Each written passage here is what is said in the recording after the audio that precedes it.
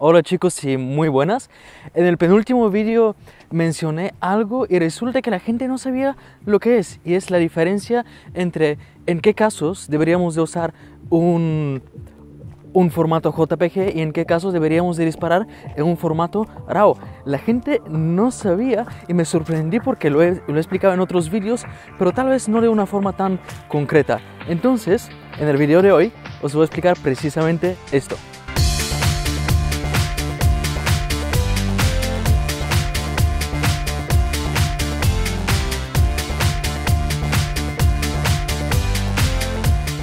Verás, yo, yo he escuchado realmente de todo.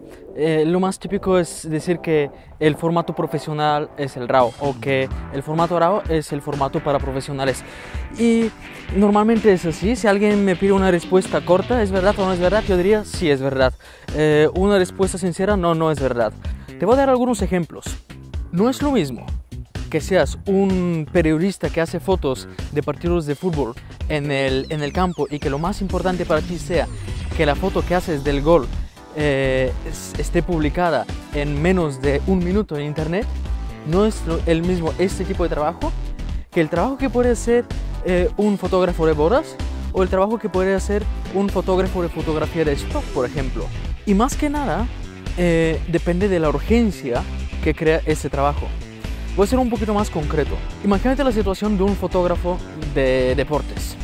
Lo que pasa es lo siguiente, el fotógrafo tiene que disparar y tiene que enviar la foto lo antes posible.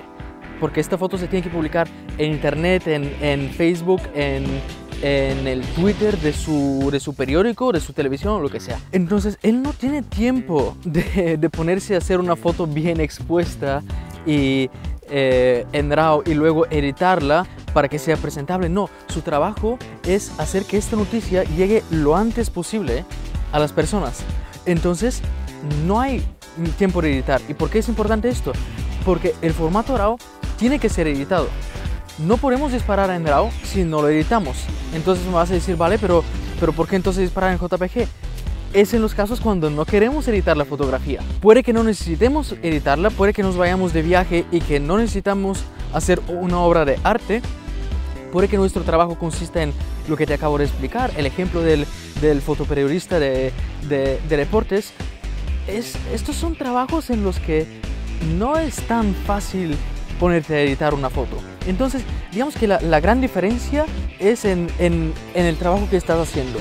La pregunta que te tienes que hacer es, ¿quiero editar las fotos a mi forma o necesito tenerlas lo antes posible y con el mínimo de esfuerzo? Si en tu caso lo más importante es que puedas entregarlas lo antes posible, está claro que tú necesitas disparar en el formato JPG, porque tú no necesitas editar estas fotos. Sin embargo, si quieres hacer arte, tal vez deberías editar tus fotos en Lightroom, en Photoshop o lo que sea. La diferencia entre el resultado de un JPG y un RAW visualmente es que el RAW no tiene ningún, eh, ningún estilo de color aplicado y no tiene estos colores, no tiene este contraste, no tiene nada aplicado, tiene algo muy genérico, muy básico, mientras que el JPG tiene los colores, tiene el contraste, tiene la nitidez necesaria y por eso muchos dicen, es que he intentado disparar en, RAW pero no me gusta cómo sale y por eso disparo en, en JPG. Claro, porque el RAW no está hecho para que sea bonito, sino que ha sido hecho para que tú tengas la libertad de hacerlo aún más bonito. Sin embargo, si tú coges un JPG y empiezas a editarlo, te vas a dar cuenta de que no es posible hacer grandes cambios con un JPG, o por lo menos no de la misma forma que con un archivo RAW. Mira, me voy a sentar porque esto se está poniendo complicado. O sea, ¿quién edita, quién no edita, quién usa Photoshop, quién usa Lightroom? Vale, sé que es un poco complicadillo. Primera pregunta. ¿Tienes prisa para enviar las fotos o no? Sí, entonces tienes que hacerlas en JPG. No, puedes hacerlas en RAW o en JPG. ¿Quieres editar tus trabajos? Sí, eh, puedes hacerlas en JPG o en RAW. El RAW te da más posibilidades que el JPG. ¿No quieres editarlas? Hazlas en JPG. De nada te sirve hacer una foto en RAW para exportarla tal cual porque quedará mucho más fea que una foto en JPG. Si tú disparas en RAW, tienes que trabajarla después.